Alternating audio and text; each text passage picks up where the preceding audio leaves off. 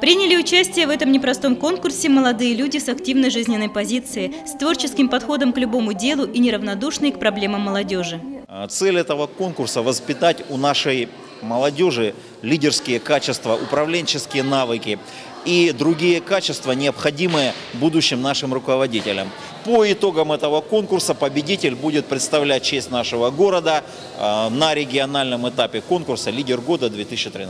Каждый из участников конкурса живет жизнью школы и города. Они все участники общественных организаций, социальных проектов, добровольцы-волонтеры, активисты ученического и молодежного самоуправления.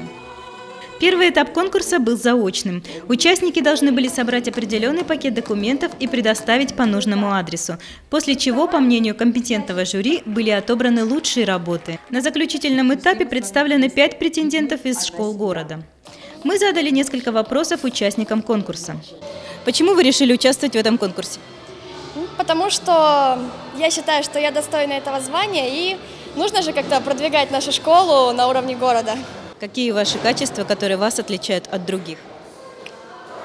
Наверное, все-таки то, что мы конкретно работаем, потому что есть многие проекты, которые только на бумаге, а мы конкретно ездим и работаем в реабилитационный центр на Соколовке у нас. Вы надеетесь сейчас на победу? Конечно, но, как говорится, главное не победа, главное участие. И я, если вдруг не выиграю, не займу первое место, я сделаю выводы, что делаю неправильно, посмотрю на других участников, кто как приготовился. Если что, буду учиться у них. Участники конкурса должны были, минуя ложную скромность, творчески рассказать о себе, о своей работе в общественной деятельности и достигнутых результатах.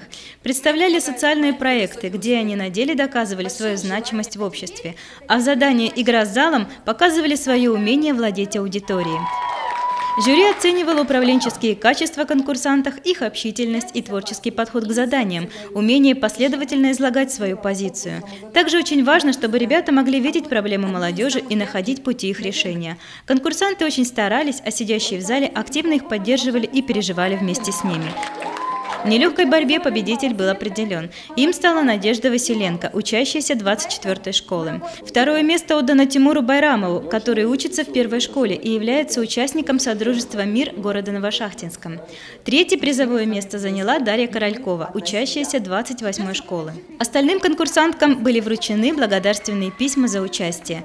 Муниципальный конкурс завершен, но впереди региональный этап. И пожелаем Надежде Василенко достойного в нем участия и удачи.